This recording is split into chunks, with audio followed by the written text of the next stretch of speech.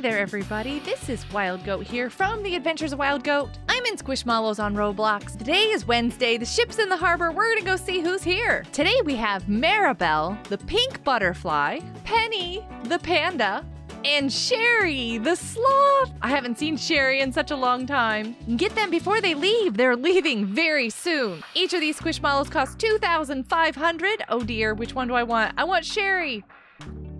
And thanks for joining me. And I'll see you in the next video or live stream. Goodbye, everybody. Hugs for all.